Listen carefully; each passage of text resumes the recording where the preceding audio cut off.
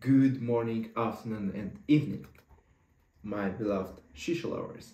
And today we are going to speak about one of the most uh, classic and basic, um, let's say, tobacco flavor, shisha flavor. It's double apple.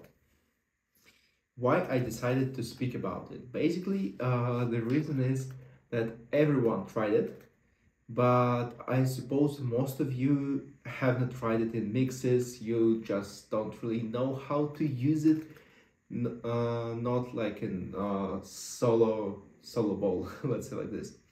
So, uh, starting speaking about the double apple, uh, let's find out what double apples we have on the market. Basically, nearly every shisha hookah company made their own double apple.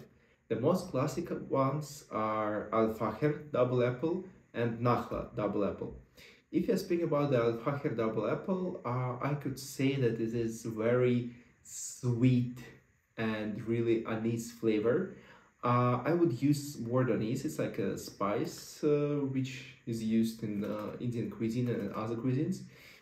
Uh, but uh, if you're speaking about the double apple, that's what usually people uh, feel there. It's uh, anise flavor and a lot of sweetness. You don't really feel the apple itself there because if you try like uh, like famous apple from Nakhla, uh, ice apple from Nakhla, famous apple from Blackburn, or uh, apple drops from uh, Daft or any other kind of apple, you would feel the apple itself like in the juice, like in any anywhere else. But if you're speaking about the double apple, it's mostly anise flavor. So in my opinion, double apple is a good variation of the spice itself. So it's really sweet, sweet anise. So coming back to Al-Fakher, uh, in my opinion, yes, it's classic double apple, but not my favorite. Now, the reason uh, is pretty simple. It's too sweet. So basically, uh, if you will smoke it, you will feel that there is too much flavor too much of this anise flavor in your mouth uh, while you smoking your shisha. Uh, so I wouldn't really suggest you to choose exactly this one. Uh, if you're comparing the Nakhlas double apple, uh, which is not so sweet, it's more balanced, uh, and it's not so bright flavor there, I would recommend this one. If you're speaking from, from if you're speaking about the classic double apples. However, uh, there are a lot of other brands nowadays, so we can choose one of them. uh, my favorite double apple is from Chabacco. Uh, you already seen the video about it, uh, it's over here. It's a Russian tea brand. Uh, basically, it's mm, hookah mixes based on the tea itself. so, Mm -hmm. Double apple from them uh, is most balanced one. So you have enough sweetness, you have enough anise flavor, and even you can find some kind of apple there, like small notes of it. So I would really suggest you to try this one. For sure, there are a lot of double apples from other companies. For example, Asman uh, has also double apple, which is like very, very sweet. If you're going to Arabic market, nearly every brand has uh, double apple. But uh, my top three, I would say it's Chabacco, Nakhla, and Al. That's my three favorite double apples. Uh, so, I promised you to tell more how to use it. Uh, how remember from the video about desserts, the link somewhere here, we are going deep inside of uh, something that we want to recreate in hookah if you're speaking about something that don't really exist in real life, uh, we can go inside of this uh, flavor itself. What we have there, we have some kind of uh, mm, sweetness, the really bright sweetness, and really anise flavor. So basically, double apple is combination of these two. So let's think how can we use both of them. If we speak about the sweetness, uh, it could be used nearly in any kind of mixes. So you just add berries, you add double, use the sweetness, it's okay. But we shouldn't forget that we, there is a uh, there is also a bright flavor of anise there, so it's a spice. If you're speaking about spices, how can we use it? We can use it in the desserts, we can use it in tea, we can use it nearly everywhere. The most important thing is to recreate the combination.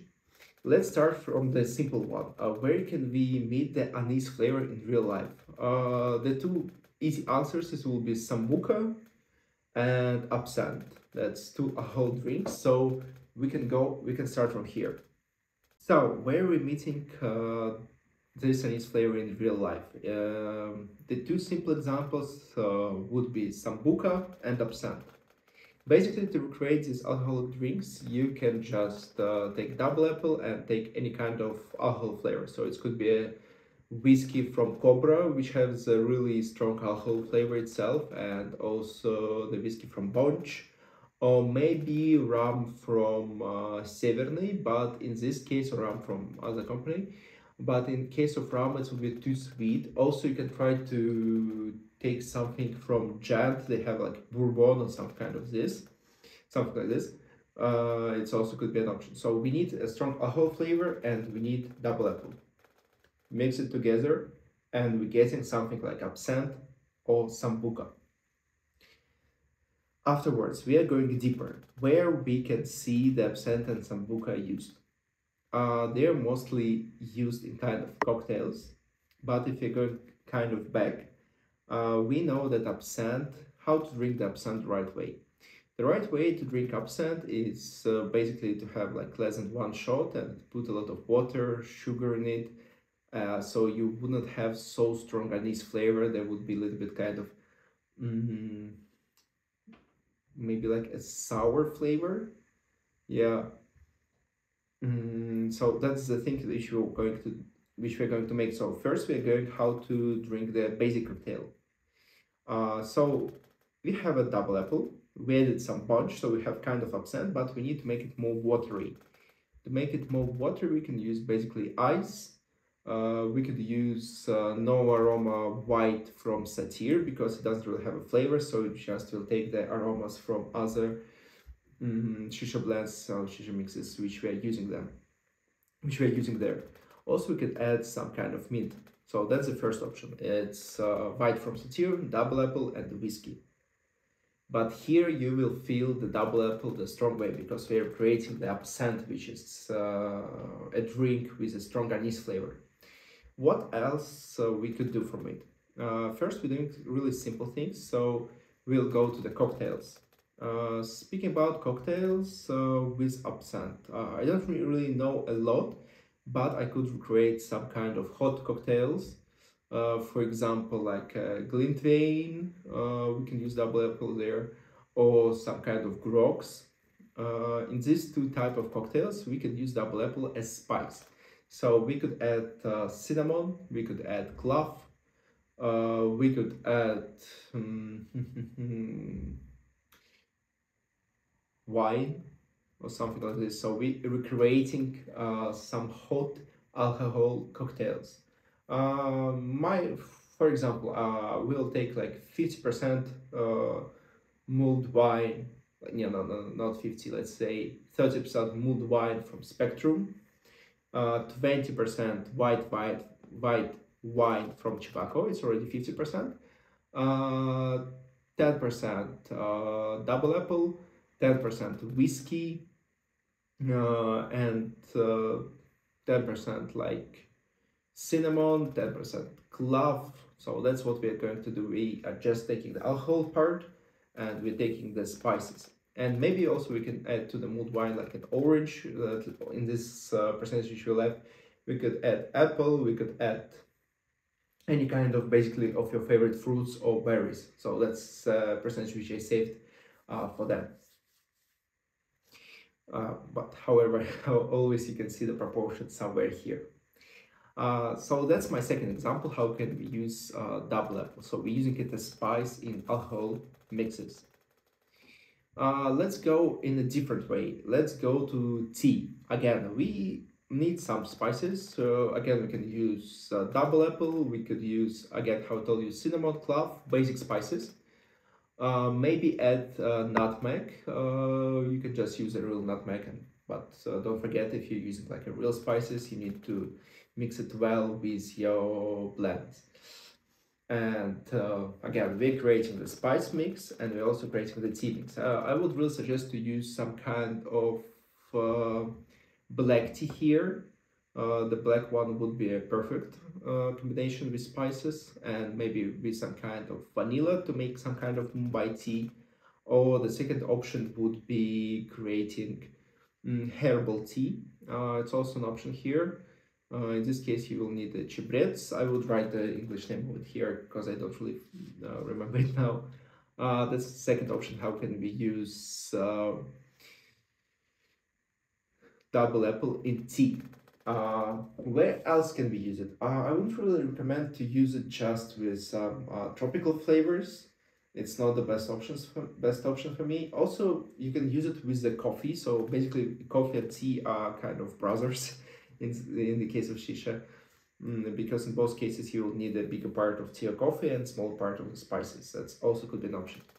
Uh, for sure you can make the uh, accent on double apple itself and just add some other flavors. For example we could take um, double apple mm, add little bit of uh, lemon uh, I would suggest to use like a really sour, sour, sour le lemon, for example, from Hunt Burley or from um, Gent. They also have a pretty good lemon. Or maybe we can just use the citrus mix from uh, Spectrum.